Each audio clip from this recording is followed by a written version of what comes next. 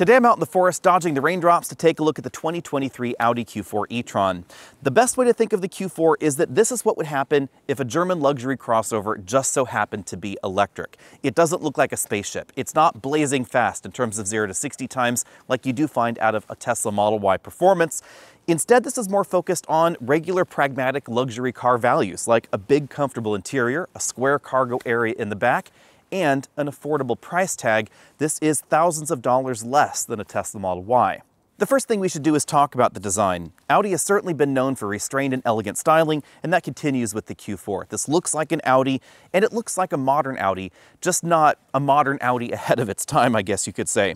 We have full LED headlights. These are very attractive units with a really slim LED turn signal there. But the front grille looks like the rest of the Audi family, and if you weren't paying too much attention, you could confuse this perhaps with a Q3 or a Q5, maybe if you weren't familiar with what the modern units looked like. Down below is where we find the only cooling in the vehicle, right there. These are not functional air vents on the side, but we do find integrated parking sensors in some of those areas. The Q4 doesn't have separate fog lights, but it does have what Audi calls all-weather lights. Those are integrated into the same modules as the high beam and the low beam. At 180.7 inches long, the Q4 quite logically slots right between the Q3 and the Q5 in Audi's lineup almost exactly between as a matter of fact. And the design is really right in keeping with the Q3 and the Q5 as well. That's not what we see, for instance, in the Genesis GV60, where it really looks like nothing else in the Genesis lineup. This also doesn't really look like the Tesla Model Y, which really kind of looks like an overinflated Tesla Model 3. This also slots right between that Model Y and the Volvo XC40 on the shorter end of things, because this is really a tweener. Not only does that put this in a different category than most of the things that you might want to cross-shop against the Q4, this is also a dedicated battery electric platform, which is different than we find in the XC40 or the EQB or a number of the other options out there, but kind of similar to the upcoming iX1 and the Genesis GV60, which are not shaped like this and not really sized like this either. That does make comparisons a bit tricky. One thing I hadn't expected with the Q4 is the staggered tire setup. We have 235 with tires up front, 255 tires in the rear on all models, including the rear-wheel drive version. So the rear-wheel drive longer range model wasn't as focused on range as some of the competition because it still has those meaty tires in the rear. And then of course the all-wheel drive model is staggered because the front electric motor is not as powerful as the one in the back. The family similarity continues out back where we do find a slightly more raked hatch than we find in the Q5, but generally upright proportions, and a generally accommodating cargo area in the back that we'll talk about a little bit later, but I just want to give you an idea of what that opening looks like. That's one of the reasons you might want to choose this over some of the swoopier options. This does not have a front trunk, but it does have a bigger cargo area in the back versus a lot of the models that do. When you take a look at the Tesla Model Y, for instance, it does have a decent amount of cargo area in the rear and it has that front trunk, but it gets the front trunk because it's seven inches longer than this, and that's really where that space comes from. As you'd expect out of a modern Audi, we get really attractive LED taillights in the back with progressive turn signals, but unfortunately, those turn signals are not amber in the United States. This is rated to tow, and there is an optional tow hitch if you're so interested. If there's no front trunk in the Q4, what is under the hood? That's an excellent question. Well, the front section is mainly reserved for pedestrian crashworthiness, something that's very, very important in Europe and not always thought about directly in the United States. Then obviously a large portion is reserved for crash structures, and then we have the HVAC system and of course the front electric motor because this one is the all-wheel drive version. Now, I still think that they probably could have given us a small storage area under here for perhaps the EVSE or a charge adapter cable because there is a lot of empty space going on up here. But as I've said in previous videos, European car companies tend to be a lot more focused on pedestrian impact and the question of what's going to happen under here if you have a non-deformable object in your front trunk. And that seems to be why not too many European car companies are really going after a big front trunk in their electric cars. Now, powering the Q4 is your choice of a rear-wheel drive or an all-wheel drive model, but both are going to use the same 82 kilowatt hour battery pack. Of that 82, 76.6 is usable. If you choose the 201 horsepower rear-wheel drive model, then you'll get 265 miles of range. This 295 horsepower model drops that down to 236 miles. DC fast charging and AC charging are identical between the two models. There's an onboard 11.5 kilowatt charger, and you can optionally charge at a CCS station up to a peak of 150 kilowatts. That will get this from 10% to 80% in about 33 minutes. Charging happens in the rear of the Q4. That's where we find the J1772 connector and the CCS DC fast charge port. Every Q4 is going to come with 250 kilowatt hours of free Electrify America charging. That's really only about three charging sessions. And that's one reason you might want to choose the Volkswagen ID4 over this is because it gets a lot more DC fast charging for free. I'm a bit surprised that Audi didn't try and push the envelope in the luxury segment with maybe a year or two of free DC fast charging. That really would have made this an interesting alternative to the Volvo or the Genesis, etc., because nobody in this segment is really offering that benefit. You do have to go down to the mainstream segment in order to get that kind of free DC fast charging. Over a week of mixed driving, I found the front seats to be very comfortable, especially since we have a four-way adjustable lumbar support for the driver and the front passenger. This is a multi-way driver seat, but it never goes as low as some EVs. The seating position is always a bit more upright and a bit more traditional Audi crossover.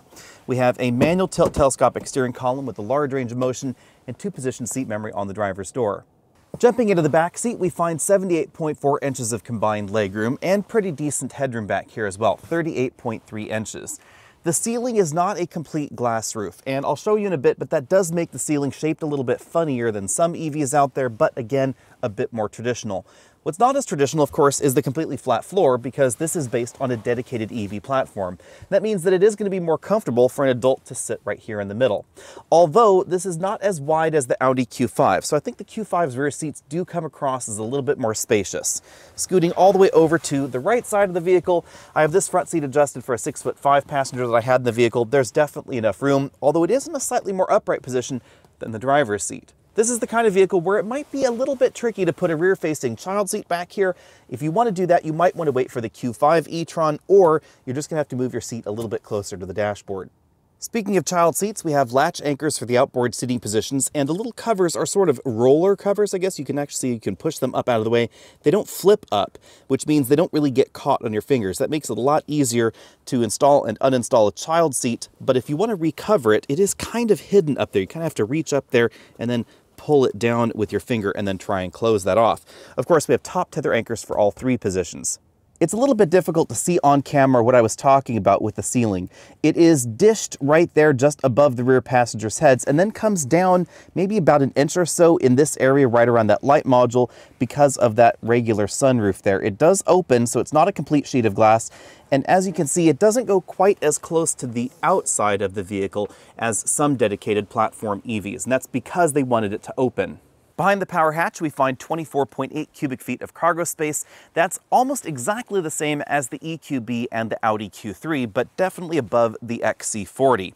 This cargo area is certainly a bit squarer than average, and you could put 22-inch roller bags in this upright position if you removed this hard tonneau cover. I am a fan of roller shades because they are a bit more practical. With this one, you're gonna have to remove it from the vehicle, gotta unsnap it there, and then you'd have to store it somewhere if you want to utilize all of this room for those larger bags. Going in for a closer look, we have a two-level load floor, and you can put that hard cargo cover right there under the load floor if you remove these side dividers, because of course this section is a little bit wider. So let's take a look at what's going on under here. I do think that uh, it would have been nice if these had actually stayed into position, but with them removed and the cargo load floor on its lowest setting, you can see why they did this with the removable dividers because with them out of the way, you can now put some of those longer items like perhaps golf clubs, etc. in there. But then you have the question of where exactly to store those things. Over here we have the included EVSE. It is a dual voltage variety, so it comes with a 240 or 120 volt end. It's also a fairly fast EV, which is unusual. It's rated for 9.6 kilowatts max. The onboard charger of this vehicle is 11 and a half, but this is a lot faster than most of the included dual voltage EVSEs that you'll find in a brand new vehicle. So for a lot of folks, you won't really need to buy a separate one. You can probably just get away with using the one that comes with your Q4 e-tron right from the factory. Going even further down the rabbit hole, there is another little storage compartment there. This is where we find the subwoofer for the audio system. Down here, there is a place where you could store your EVSE. This is also where you're gonna find the can of Fix-A-Flat and the tire inflator. And I suppose there is just barely enough room in there, if everything was coiled up neatly, to store those little dividers as well. As we see in many European vehicles, the rear seats are a 40-20-40 folding variety that really improves cargo practicality. Now let's take a spin around the interior. Keep in mind that this particular model is almost fully loaded, so there are going to be some things in here you don't find in the base model. Up here we have controls for the power sunroof and power shade, very similar to other Audis. You can see the size of that dual pane moonroof. It doesn't go quite over to the rear passengers' heads. The driver and front passenger get height adjustable shoulder belts, four-way adjustable headrests, and this interior has the leather upholstery. You can see that it's leather faced, and then we have a strip of Alcantara-like fabric. I don't know if that's actually Alcantara brand or not. We then have heated seats, not ventilated seats up front. And as you can see, the bolstering is not terribly aggressive on the front seat back or seat bottom cushion. So larger folks shouldn't have a problem here. Moving over to the front doors, we have a combination of soft and hard touch plastic. So soft touch inserts right there in the middle of the door, the armrest, and on the upper section of the door, and then hard plastics the rest of the way around to reduce costs and of course improve durability at the bottom of the door. For instance, around that bottle holder and storage area down there. Moving up to the dashboard, we find a mix of modern and a mix of existing Audi design.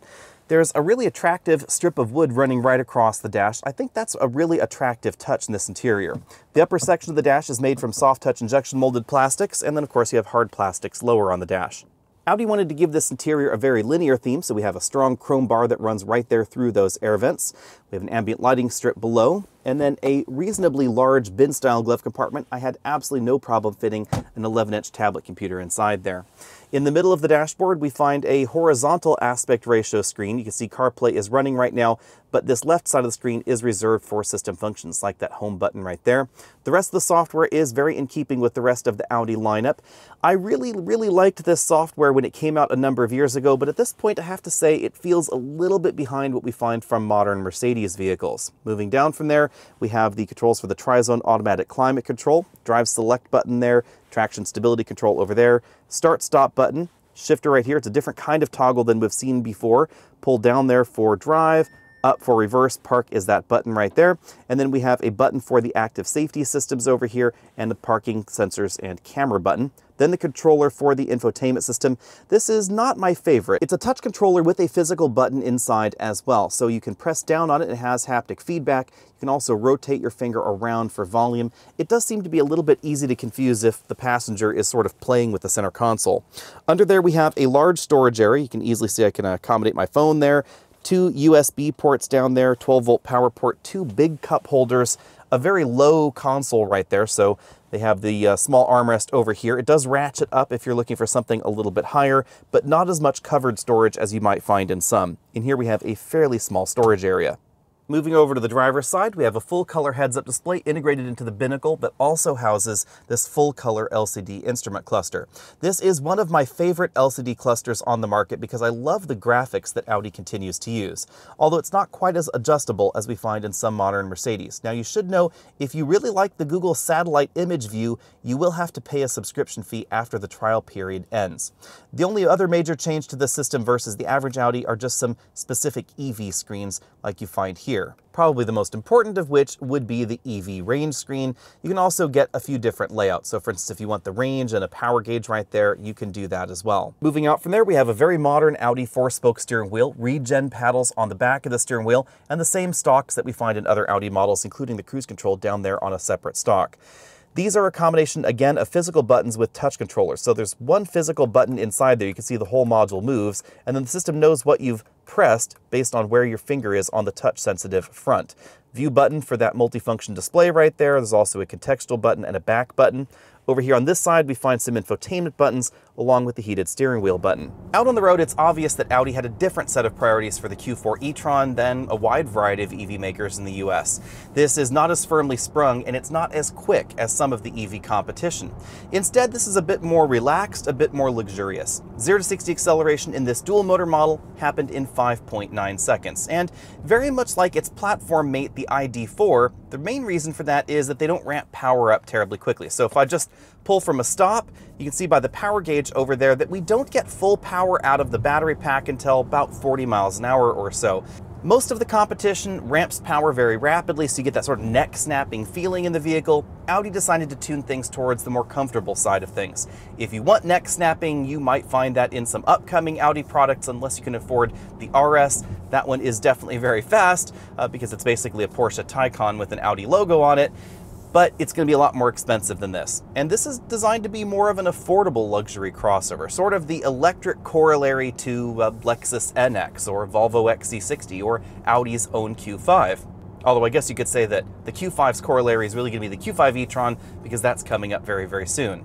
In keeping with the more average acceleration profile of the vehicle, stopping distance is fairly average as well, 124 feet from 60 miles an hour in this vehicle.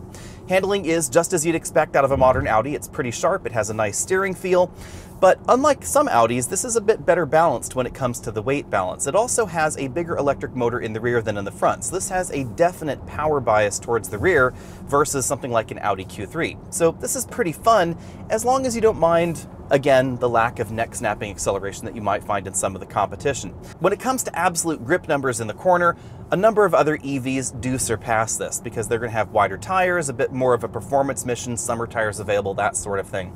Audi was really trying to give us a very middle of the road luxury option. And to be honest, I think that's exactly what the luxury segment needs because so many other manufacturers have chased Tesla down the rabbit hole of really firm suspensions. Uh, some have really been focusing on handling because they want that quick 0 to 60 time and they want appropriate handling. And not too many luxury car manufacturers are creating EVs like this that are basically electrified versions of existing products. Now, when it comes to snow performance, this should do fairly well. We have a reasonable amount of ground clearance, definitely more than the average EV crossover in the US, but we don't have quite a symmetrical motor layout. In the all-wheel drive versions of this, the front electric motor is a little bit smaller and a little bit less powerful than the rear motor, but it's not quite as imbalanced as, say, a Hyundai Ioniq 5, where there is about twice as much power on the rear as there is on the front, but something like the Volvo XC40 with its approximately 200 horsepower motors on both axles, that does come across as slightly better balanced. Obviously, it's going to be a little bit more expensive depending on the configuration, but it is going to get you a little quicker 0 to 60 and it's going to have that balanced power profile. The different nature of the Q4 is really obvious when you get it out on a rougher road like the one that I'm on here versus a lot of EVs in America. Something like a Tesla Model Y, it's definitely tuned towards the firm side of things. Ditto a decent number of Model Y impersonations like the Ford Mustang Mach-E sometimes. But this is definitely softer, so if you're looking for something that has a more comfortable ride, you might want to take a look at this. And the ride is certainly more compliant in here than in the Volvo XC40. Volvo wasn't exactly copying Tesla's tuning, I think it does ride better than a Model Y, but it is certainly on the firm side, and this is a little bit more on the comfortable side of things. When it comes to ride quality, I'm going to give this an A minus also. Some reviewers that I've talked to this week have been really conflicted about the ride quality in the Q4 because it is a little bit different than the average. This is not firm and bouncy like you find in a modern Tesla or in a Ford Mustang Mach-E or a decent number of other EVs that are really chasing Tesla down that firm and bouncy rabbit hole. Instead, this is more compliant over large imperfections like that enormous pothole that we just went over, or speed bumps, or gravel roads like we usually test on. But on road surfaces like this, where there's some broken pavement here and there, maybe expansion joints, that sort of thing, you will feel those come into the cabin a bit more than in an Audi Q5. I would say that suspension tune is not too far off the Q3, but it is a little bit different in that the small imperfections come through, but the big ones are very well controlled.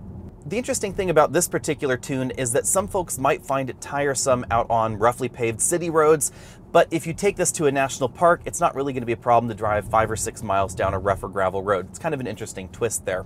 When it comes to cabin noise, I measured 72 decibels in here at 50 miles an hour, making this a little bit louder than I had expected. You will find slightly quieter cabins in some of the other competition, especially the luxury car competition, so I'm going to give this a B minus. You'll also find quieter cabins in some of the gasoline Audis. Now let's talk about efficiency. Over a week of mixed driving, I've been averaging 2.7 miles per kilowatt hour. That's a little bit lower than I had expected, and I'm going to give this a B plus when it comes to fuel efficiency. However, on my efficiency test loop, I averaged about 3.1 miles per kilowatt hour, so definitely a little bit better there. In colder weather, the Q4 definitely seems to be consuming more energy than some of the competition. During the day, temperatures have reached about 55 or so, and in the morning and at nighttime, temperatures have dropped down to around 35 degrees. These are really the temperatures where a heat pump system is absolutely invaluable for an EV like this to really extend the range. I know a decent number of people have been disappointed by the Q4 e-tron. If that includes you, then let me just propose that maybe you're misunderstanding the purpose of the Q4 e-tron. The mission of this vehicle is to be an electric Audi crossover. It's not to emulate a Tesla Model Y. If you want to go 0 to 60 in 3 seconds, you can find an EV that will do that. It's going to cost a lot more than this. If you want one that handles better than this, has different motors than this, has whatever it is that you're looking for, you will probably find that in some of the alternatives, but again, you will pay an awful lot more for it. And the interesting twist with the Q4 e-tron, as well as the Volkswagen ID4, is that these are a lot closer in price to the corollary vehicle that just has a gasoline engine under the hood. So if you take a look at this Q4 versus a Q3 and a Q5 that run just on gas, price-wise, this is right there where it should be. And that's not where we find the Tesla Model Y. The Tesla Model Y is significantly more expensive. So is the Tesla better in many ways? Sure, but it's going to be a lot more expensive and it's not quite the same thing. If this kind of vehicle does not appeal to you, buy something else. But if you're looking for an affordable luxury EV that has all of the Audi features and gadgets and gizmos that you might want, with a price tag that really fits with the rest of the Audi lineup, then you want to take a look at the Q4. Now it's time to run through the pros and cons of the Q4. The first thing is the elegant design. I really do like it, and I like the fact that the Q4 e-tron looks like the rest of the Audi lineup, something that very few EV manufacturers are doing really outside of the European luxury competition, like Volvo with the XC40 and the upcoming EX90, etc. Thanks to the boxier design, the interior is pretty roomy, but that does impact overall EV range, and it's pretty well priced versus the European competition. On the downside, performance is pretty similar to the ID4 and actually a little bit slower depending on the model you're talking about because it's heavier and it uses essentially the same batteries and motors. And of course, because of the same battery, the DC fast charge time is, well, just not as fast as a lot of the competition. Then, of course, there is Tesla's recent price drop, which takes us on to pricing. The Audi is the least expensive option in the luxury segment at the moment at $49,800 starting, but you don't get all wheel drive for that price tag. If you want all wheel drive, the dual motor setup, that's $55,200. And that means it is actually a little bit more expensive than the Tesla Model Y, which has just seen an absolutely massive price drop. If you have not already seen the details on that price drop, you can head over to Tesla's website. In essence, the long range Model Y is down to $52,990. And importantly, because the Model Y is built in the United States, it will qualify for the refreshed federal tax credit. Now, if you want the full federal tax credit, you might need to act fast because the federal government has actually put a pause on the battery sourcing and assembly requirements for the moment.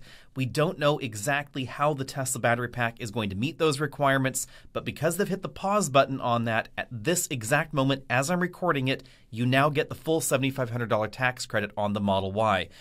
A little bit later, when those rules actually start getting implemented, that tax credit may either change, it may go down to half, or it may get removed entirely, depending on exactly what the foreign and domestic content of that battery pack and the battery assembly actually is. But because the XC40, the e-tron, and the EQB are not built in the United States, they don't get the tax credit at all. And that means that when you take a look at this pricing chart, uh, even though the pricing range of some of these options in their lower end trims is pretty similar to the Model Y, if your tax situation would allow you to get the full tax credit, it's going to be significantly less expensive. And that really is a big feather in Tesla's cap. Some versions of the Model Y have gotten up to $13,000 less expensive than they were just a few days ago, and that really changes the math when it comes to value. On the other hand, if you're leasing your vehicle or the tax credit just doesn't apply to you, then things are going to be a little bit different because the European models tend to have very aggressive leasing programs available, and the price tags are going to actually be a lot closer together. In that window, the Model Y still does pretty well for itself because it's pretty roomy. It has the optional third row. It's a very, very tiny third row, and in a lot of situations, I actually like the one in the EQB better but the EQB comes across as pretty darn expensive.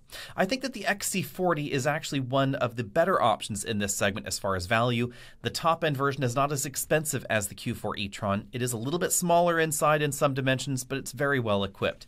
And for 2024, it's getting a pretty significant refresh. It's getting a bigger battery with longer range, the same amount of power, but Volvo has decided to skew the power balance towards the rear with some new electric motors. It's going to get about 250 horsepower in the rear, about 150 horsepower up front. So still total about 400 horsepower, but the power balance has changed around a lot.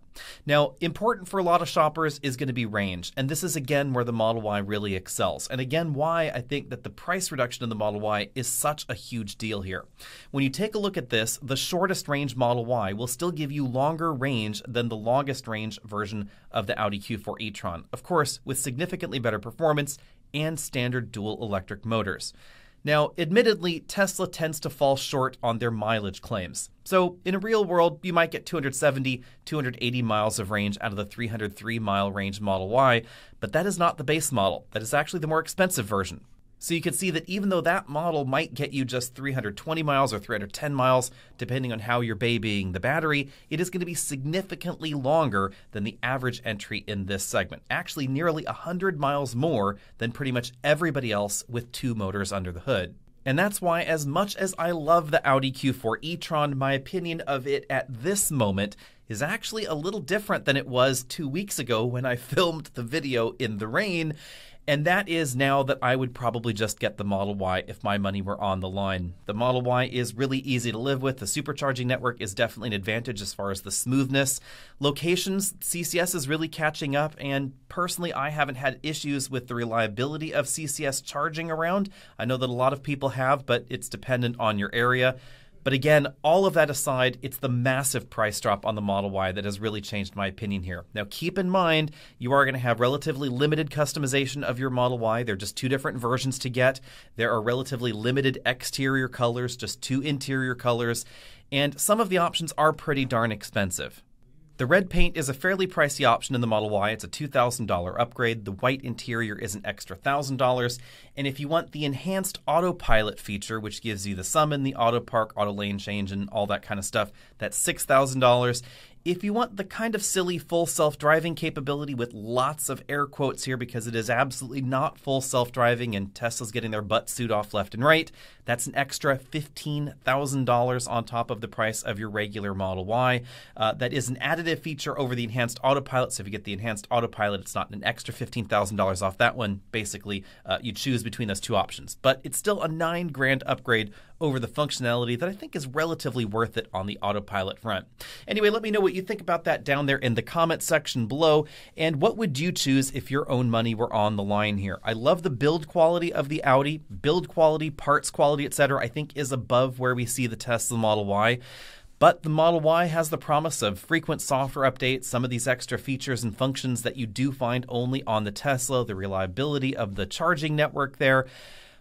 Most people are not charging uh, DC fast charging all the time. However, they are charging at home, so keep that part in mind. But the Tesla comes across as very well equipped and now $13,000 less expensive in some trims. Previously, again, the calculation was simply that the Model Y might be better, but it was also a lot more expensive. Now that is simply not the case. Whether that will change, of course, we don't know because Tesla changes their pricing all the time keep in mind that note on the side of your screen that says when we were recording this and when these price tags are valid, because that changes all the time. Let me know. Find me over at Facebook, Instagram, Twitter, etc. And I'll see all of you next week.